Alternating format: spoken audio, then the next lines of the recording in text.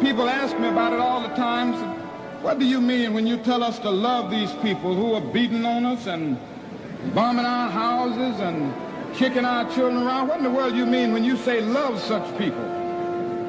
And I always have to stop and try to define the meaning of love in this area. And interestingly enough, Greek philosophy comes to our aid at this point. There are three words in the Greek language for love. One of them is the word eros.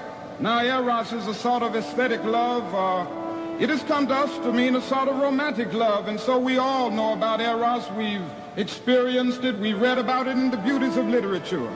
Then the Greek language talks about phileo, which is another level of love. It is an intimate affection between personal friends. On this level, we love because we are loved. We love people that we like. This is friendship.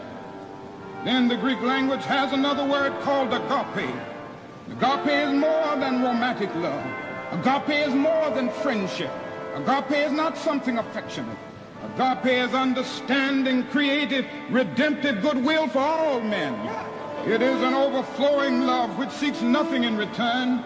Theologians would say that it is the love of God operating in the human heart. And when one rises to love on this level, he loves men not because he likes them, but he loves every man because God loves him. Goes on with that. And so he rises to the level of hating the system rather than the individual who is caught up in that system. He loves the person and hates the evil deed. And I think this is what Jesus meant when he said, love your enemies. And I'm happy that he didn't say like your enemies because it's pretty difficult to like some people.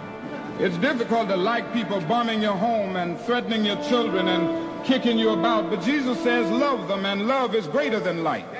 Love is understanding, creative, redemptive goodwill for all men. And somehow, more and more I've come to believe this. This is the way that we will get out of this dark night of oppression.